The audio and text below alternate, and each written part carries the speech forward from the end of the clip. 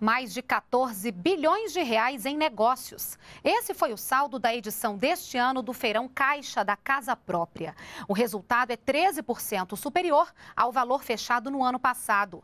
O feirão recebeu mais de 400 mil visitantes. Quem fechar financiamentos até o dia 30 de junho ainda pode aproveitar as condições oferecidas durante o feirão. Todos os detalhes estão no site da Caixa.